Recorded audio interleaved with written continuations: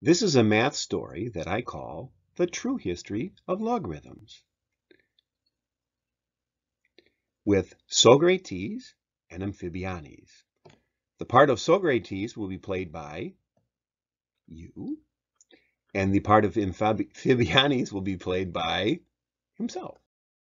Through painstaking research, I have traced the beginnings of logarithms to ancient Greece. I have discovered a lost manuscript about the greatest philosopher of all time. Though long since forgotten, at one time he was so great that people called him Socrates. This manuscript describes a dialogue between Socrates and one of his students, Amphibianes, who was always hopping all over him with questions. Throughout the following reconstructed dialogue, notice how Socrates employs the Socratic method, by which the student is brought to knowledge through queries such as, What's so great about that? Now remember, you are playing the part of Socrates, and Amphibianes is playing the part of himself. I will help you with the Socrates part, but make sure that you join in at the appropriate time. Oh, great, Socrates! I want to learn the secrets of power. To have the secret, Lilyhopper, you must first understand power. What's to understand? Isn't it obvious? Power is strength. I looked it up at the library in Alexandria. And where do you find strength? Strength is found in numbers. I think Aesop said so. What kind of numbers, Tadpole? Any kind, even those with bad attitudes. Here, let me show you. The most holy number, of course, is zero. And then there are those with good attitudes like three, one, and two. And those with bad attitudes like negative three, negative one, and negative two. But where's the power in the numbers?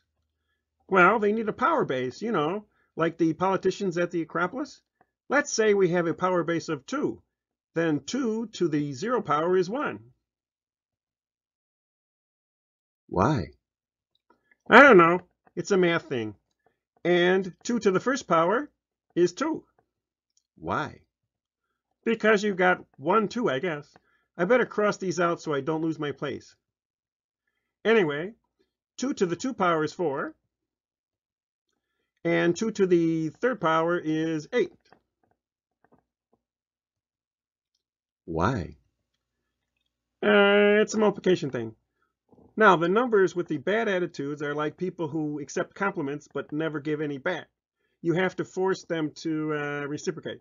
So 2 to the negative first power is 1 half, and 2 to the negative second power is 1 fourth, and 2 to the negative third power is 1 eighth. Hey, I'm swamped. What I need to do is organize this. How do you organize pairs of numbers? Glad you asked. I got a person in my throat. Uh, I'll call the horizontal axis the x-axis, so x will represent the questions, the numbers I put in. Why x? Because of those are the numbers that I xed out. And I'll call the vertical axis the y-axis. Why? Exactly. No, why? Yes, why? Because all of your wise questions. These will be the answers that come out. Then I connect the ordered pairs to get a picture like this. A curve. Cool. All I have to do is remember that X's are the questions and Y's are the answers. I thought Y was a question. Nope. Y is the answer. I guarantee.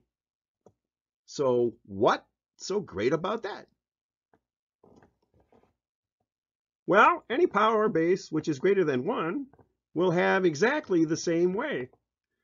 In general, if y equals a to the x, where a is greater than 1, then the y's are always positive, so the graph will always be above the x-axis. Why does this have to do, what does this have to do with power? Don't you see? This spawns a stream of possibilities.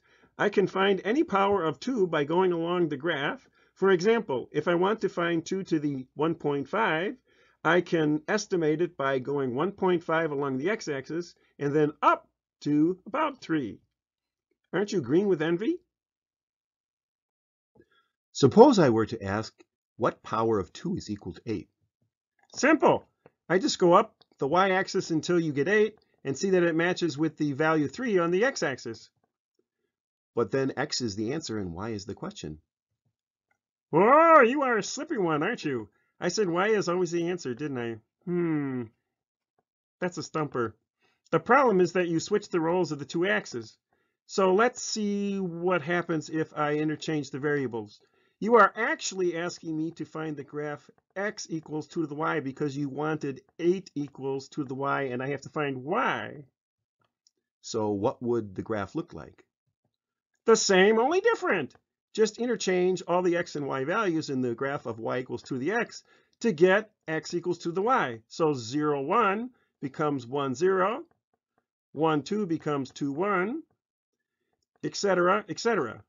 The graph looks the same except we have flipped each point over the line y equals x, kind of like leapfrog. So the graphs are mirror images of one another. What would you call such a graph? How about the leapover graph? Because that is how I made it. So what's so great about that? Well, when any power base which is greater than 1 will have a leapover graph that is just the mirror image across the line y equals x. Is there anything special about these graphs, oh flat-footed one? Let me see. Since 8 equals 2 to the third, we can say 3 equals the leap over graph base 2 of 8. Let's abbreviate this. 3 equals log base 2 of 8. Then, for example, 1 half equals 2 to the negative first because negative 1 equals log base 2 of a half. And what is the result of this? Well, if you take 8 times a half equals 2 to the third times 2 to the negative first equals 2 to the 3 plus negative 1 power, then we can rewrite this as 3 plus negative 1 equals log base 2 of 8 times a half. Any, and why the explanation point, bug-eyed one? If I substitute log base 2 back in place of 3 and log base 2 of a half back in place of negative 1, I get log base 2 of 8 plus log base 2 of a half equals log base 2 of 8 times a half. In other words, the log of the product is equal to the sum of the logs of the factors. Always? You got it, Ace. Log base b of x times y equals log base b of x plus log base b of y. I guarantee. If multiplication turns to addition, what does division turn into? Subtraction.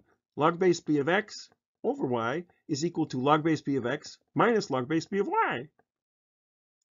But Weedhopper, if multiplication turns to addition and division turns to subtraction, what would exponentiation change to? Hmm, well, log base b of x to the n equals log base b of x times x times x n times, which by the product rule is log base b of x plus log base b of x plus log base b of x n times. What's so great about that? That means that log base b of x to the n is equal to n times log base b of x. Exponentiation becomes multiplication. Hey, I can really get into this logarithmetic. But what about the secret power that you were asking? Who cares? This has been such a riveting discussion. I can't wait to go back to my pad and see if these ideas float. Gotta go now. If it's okay by you, TTFN. And that is the true history of logarithms. Honest.